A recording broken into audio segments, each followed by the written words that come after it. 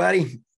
Today is one of those days when you sit back and kind of wonder during the holidays, are you really worried about your uncle coming into the uh, uh, front room and saying, these three guys walked into a bar. Well, I happen to be here with two other of those guys. My name's Stu Turley, President CEO of the Sandstone Group, and I'm here with two compadres. We're three podcasters walk into a bar. First around the corner is RT. RT Trevino is one of the head dogs over there at Pecos Operating Country, and he is the podcast host for the Crude Truth, not just the Crude Truth, the Crude Truth. Oh, yes, I am. It is the crude truth. But I tell you what, uh, my other crude truth today is that I'm just happy and excited to get back with the think tank here of Stu Turley and and David. So, uh, uh, you know, happy holidays and Merry Christmas, everybody. Hopefully, we'll knock out one more before Christmas, I'm sure. Uh, but hey, hello, everybody, and uh, hello from Pecos Country Operating. There you go. Next around the corner, just I had to say that to wake him up. He's so old. Moses is proud to call him brother. All right, we got the David Blackmon. David is the uh, uh, CEO. What is he? Yeah. what is he? He's the CEO and president of DB uh, Energy, and he has one called the Energy Question. And for our podcast listeners, he was having a hard time getting his head in the screen. He's moving the camera around and everything else. So um, we are going to have a great show. We have got so much rich, uh, target rich environment for uh, David. You run the uh, energy absurdity of you know of the day. I'm sorry, my day is not made unless you've got a really good publication going out there. And I, I just sit there and wait at 4 a.m. for you to get up and get me an energy absurdity today. What do you got going on with energy absurdities right now? Oh, uh, well, let me look. There's so many of them, I, I forget which one's current. Um, what did I do today? Dad gum. Having a senior moment. Let's go look here. Let's ask Moses. I'm sorry. I, I swear I'm going to get to this in just a second. Uh, corn ethanol was my energy absurdity to, of the day. I noticed that the Democratic Party was uh, changing its primary calendar to move Iowa back on the calendar in order to make it easier for Joe Biden to get renominated at the age of 82 in 2024. Um, and, you know, I've always been an advocate to move Iowa back down the calendar and get it away from the first, first uh, nominating right. contest, just, you know, because of the uh, ethanol subsidies. Right. And, and every four years, we have every presidential candidate of both parties, you know, goes to Iowa to bend the knee to the corn ethanol people and, and right. promise to extend those subsidies. And it's the biggest bunch of nonsense and the most use, useless fuel we produce in this country Yep. And so, you know, I was just saying I'm all for it, man. Move it down the calendar. Just do it for the right reason. Wow. Well, you know, uh, is there a right is there a right reason anymore, David? That's really the question. You know, everybody has their own reason and everybody has their own thought and their own truth, so to speak, on, on, it. You know, yes, what I, is I, truth? I, I, can't I can't disagree uh, with you at all. I mean, the way that these uh, people they focus on the corn it's like when they actually go back and look it actually takes more uh, oil to make a gallon of gasoline with ethanol than it does just to make a gallon of gasoline with oil oh, so sure. uh, you know that to me is uh, an absurdity right there uh, that that here we are trying to get corn um, and not to mention also the fact that we're using a product that we eat on a normal basis to make energy when we have an, a, other great ways to make you know cheap reliable abundant amounts of energy. Right. Um, you know let alone if um, i know i remember one time and i'll, I'll, I'll get on this uh, quick story.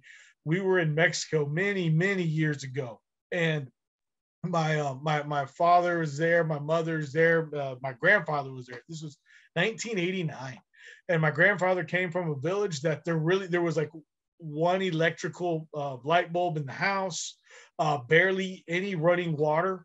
And uh, one of the aunts asked my father, because uh, he was already doing some oil and gas at that time, uh, and he goes, Is it true that you guys use gasoline, or excuse me, use corn not only to uh, to do make gasoline, but also feed the cattle? And my dad goes, absolutely. And she got appalled. That's like, well, that's one of our main sources of food and nutrients. Right. It's like, why are y'all wasting all of that? It's like, if America has too much of that, why are they not sending it to us in other countries? So that's something that sticks out with me as well. Uh, b- being yep. able to see that growing up, it had an impact. Going, wow, w- what are we doing to where we're taking our food sources and turning them into energy at a time when there's no need for that at all. Yeah, it's crazy. Yeah. It's crazy hey, policy. So anyway, I just think that's really such a great thing. You know, Stu, what do you think about you know all these? Uh, once again, they're doing this Iowa thing. I, I one of the things that I really enjoyed was I, I had a, a podcast uh, with Deborah Wald, and she's the CEO over at Green Lily, and they've got um, out of Europe, they've got uh, technology that they make biodiesel and ethanol without having to use all those extra resources. And it's coming out of trash and it's coming out and you sit here and go through all of their stuff. That's real biofuel. It's not using food. I'm like whoa so basically what you're saying is we got back to the future part two in real life where you had Doc going there and throwing uh, the empty beer, the beer can and the trash into yep. the vehicle. Yeah. Could you imagine if that we could actually make that like just a real thing, what we could do with actually all the trash and talk about renewable yep. energy and reduce, yep. reuse, yeah. recycle, right? It's here. It's now. And we uh, got uh, well, it. we uh, just need once again, you know, I, I, know there's other forms of energy out there, and I am once again, I am all for them, but they yep. need to be reliable and affordable. You bet. If they, and here's the thing about their renewable stuff, and I'm going to get off of this one, but their renewable stuff does not need tax subsidies. Oh, they can compete with power and ethanol and biodiesel. So, biodiesel, guys, has what, $2 uh, additional whenever you have diesel and you have to add bio to the word bio, it gets $2 per gallon. I think something like that. Something like right? That. Yeah. They don't need the tax subsidies. They don't need the extra waste. Wow, what's up with that bad dog? well, if you're not going to become a ward of the state, a rent-seeking industry, then the politicians aren't going to support you. I mean, no. this is all a game about uh, political power and money. Oh and, yeah. Uh, you know, the the companies that are willing to become wards of the federal government are, are the ones that are going to get the feed at the trough, and uh, it's a big trough right now. Yeah, oink. Hey, uh, as Dan Bongino would say, it's a porkulus bill. All right. Hey, uh, RT, what about OPEC? Yeah, let's turn this bad dog over to uh, uh, OPEC and Russia price cap. What are you hearing there? Yeah, no, I'm hearing there that uh, they are getting ready to, or no, they just approved a price cap on the Russian oil at $60 a barrel. Um, so that means now that that's the most everybody's going to be able to pay for Russian oil, if I'm correct. Which theoretically, away yeah. when we're at seventy-seven dollar oil, which is a perfect number for operators and and um, you know people that invest in oil and gas. Seventy-seven is perfect. Um, so now they're going to be able to go buy it from somebody else who's forced to sell it at sixty dollar oil. Um, so that's a concern of mine. But then also, I want to ask you two guys, you know, as, as an operator working out in the field every day, you know, is that something that our government could ever force us to do? Is to, is to force the price of WTI to be sold at a certain price or for Brent to be sold at a certain price? Is that something we could ever possibly see here in America? Uh, David, I'll let you answer and I'll give you my one and a half cent. Well, I mean, not if we're observing uh, the Constitution and the laws. Okay. But uh, this administration, you know, has a pretty long track record already of ignoring both. Uh, you know, can they do it? Uh, I don't really see how they would be able to do such a thing. You, it would require the cooperation of the United States government and all these other governments to refuse to buy production, you know, from a, an American company at a price above a certain level. And, you know, right now they're trying to do this to Russia through the G7 and the European Union governmental entities. Okay. But but there's all kinds of exceptions to it. For example, Japan is part of the G7, and Japan Japan pledged on Monday that they're going to enforce this price cap, except for oil coming to Japan from Sakhalin Island, Russia's operations on, which is where Japan gets most of its imported oil from, right? Okay. Right. So it's it's it's just nonsense. It's unenforceable. Russia has always already figured out workarounds. Um, you know, the cap is supposed to be at sixty dollars. Russia was selling oil in Asia the day it went into effect at seventy nine dollars, nineteen dollars above the cap, and and these, you know, it's a farce. It's it's a bunch of politicians trying to convince their constituents that they're being tough on Putin while they're really not doing anything very effective at all to Putin. And um, except poking him. Yeah, it's just a, a typical government farce. And uh, I, I You know- don't know what else to say about it.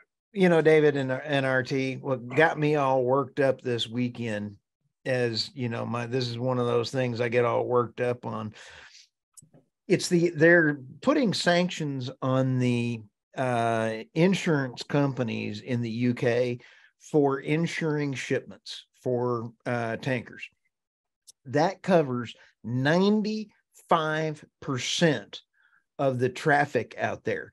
So if you're a insurance carrier and you uh, try to insure a shipment and they are transporting it more than $60, that's who they go after is the insurance company. Right. Right.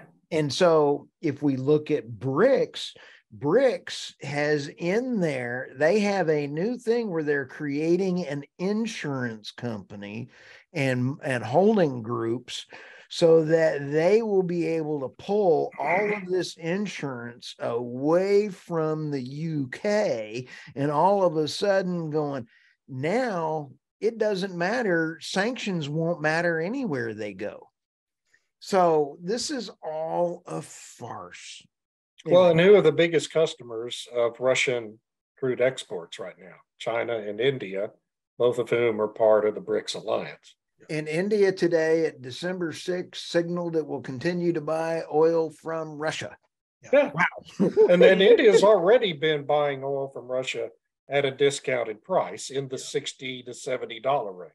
right. right? So I mean, it's already right in line with the supposed cap, and uh, y- you know, it's it's just Russia has said Russia's response was that they won't honor the cap. They'll find a ways to work around it, and if they can't sell all their crude at market prices, you know, that are negotiated between two willing parties, then they'll just withhold the oil from the bet. market.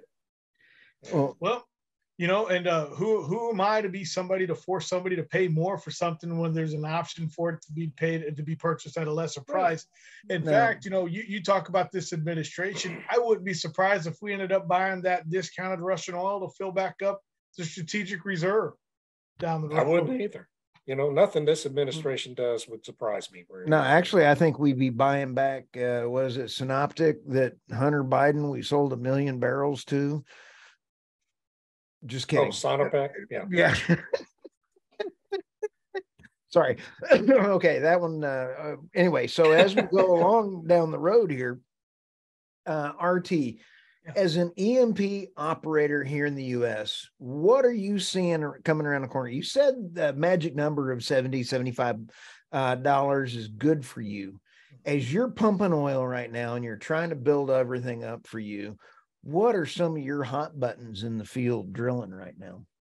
Oh wow! Uh, my hot button right now is service cost. You know the pipe, the the the cost, uh, the uh, uh, service cost, and not necessarily all service companies and their cost. But let me re- let me be more specific. Material cost. My material costs are still at over a hundred dollar price material, um, Wow. and so um, I, what I'm a little worried about as an operator. Um, and E&P, of course, is exploration and production, is what E&P stands for. Um, what I'm worried about is will those prices go up? And these service companies, um, that are also still high, will they go back up again? Because here we are at $77 oil. I am prepared mentally and physically for oil to go back up to that 95 to 105 dollar range in the next six months. Wow. I do think we're going to get there. And so for us at Pecos Country Operating, we are waiting right there to start, you know, start producing and really take advantage of what will probably be at that point 12 to 18 months of $100 oil again. Um, but that's my hot button right now because, see, the, the prices haven't come down uh, right. to match where the price of oil is. However, that being said, the supply has not gone up to match the demand that we have. This price right now, and why I think the prices are going to go back up, is this is a, a the mafioso uh, word fugazi. This price is not real. The seventy-seven dollar oil. Why? Because we're still importing from our strategic reserve to cover the demand with and add to the supply that we don't have. So at some point, uh, these prices will realign and we will shoot back up to 95 $105 oil. Um, so right now, again, my hot ticket is really the fact that I'm paying $100 prices, $100 oil prices uh, at 77. Now, I, uh, one more thing, and I'll, I'll get off of it. I do think that $77, $75 oil is the perfect number for this US economy to really thrive and go. Um, when we see $75 oil, we're looking at somewhere between an average of $2 and $2.50 in gasoline, and which means the economy can travel. Uh, our prices go down on goods, services across America. Right. And more importantly, uh, in my industry, I'm making a dollar um, you know, when when we go down and things like that, you know, everything does change, and, and that's the truth. Seventy-five dollar oil is the perfect place where the economy grows and everybody is making money. So, yeah. Yeah, there's there's my little hot ticket. I'll tell you that's fantastic, RT. David, I'm glad you moved. I thought you were going to have to put your glasses under your nose there to see if you're still alive. So the the other thing about the price, uh, you know, the other bullish factor that that's about to happen is China is uh, releasing this zero COVID restrictions in a, in a lot of parts of the country now uh, because of the mass protests that they yep. had. Uh, uh, the government is backing off from some of those restrictions. And when that happens, demand for crude in China is going to go back up very substantially, very quickly. And, uh, you know, uh, unless OPEC is willing to jump in and raise production, which they have a very limited ability to do right now. Um, it's going to be hard to contain prices, I think, below, you know, the Brent price at least uh, would probably be approaching the $100 mark again in the first quarter of next year. Oh, you, you bet. You know, David, you uh, mentioned China um, and how OPEC will probably, uh, you know, what uh, uh China's going to release, uh, ease the restrictions, so their demand's going to go up and that OPEC, you know, will they or will they not um, release more production? I do. I did hear today that they are actually the president of China and uh, the uh, group out of Saudi Arabia are supposed to be meeting today or tomorrow to be discussing what alliance they will have, and they will have an alliance. Yeah. Yeah. And I, I want to uh, touch on that if y'all don't mind for a brief second, because um, um, Stu, you mentioned this two years ago when you and I met for lunch. This was part of your whole deal with Russia. And right. but I want to start and I want I want people to salivate over that and start over with David. You know, David, what do you think will come out of this meeting uh, between China and uh, Saudi Arabia? Well, probably nothing formal yet uh, in terms of Saudi Arabia joining the BRICS alliance, but uh, I'm sure that's a topic of discussion. The Saudis have been making moves in that direction now for over a year. Yep. And with the Biden administration, you know, it's pretty obvious overt hostility towards Saudi Arabia. Uh, I think that just pushes them inevitably into that posture. But I, I you know, I, I, would expect them to make some some announcements about uh, China's intent to purchase more oil from Saudi Arabia uh, in the months to come as their demand rank, uh, ramps back up, and they'll probably make some some agreements in terms of economic development uh, opportunities between those two countries. And uh, you know, so it's just we're we're in the United States. Our government is pushing uh, the most important Middle Eastern oil producer into that China orbit, and um, it's a very very dangerous thing for America's future energy security to be doing that. You know rt and david those are great great points. And and when you take a look at BRICS and BRICS plus in china's orbit you see only the united states canada and a little bit of europe and the rest of the world is red and that means that the and that's 50% of the population of the world will be orbiting around china yeah. that is not very far off. Yeah. Stu, I mean, the inroads China's made in Africa and South America are just incredible over that, the last decade. And they own South America. Yeah. Yeah. It's, it's scary. It's scary. If I may, Stu, uh, please, uh, for our listeners out there, what does BRICS and BRICS Plus stand for again? Uh, it's what you don't want to have you drop on your foot.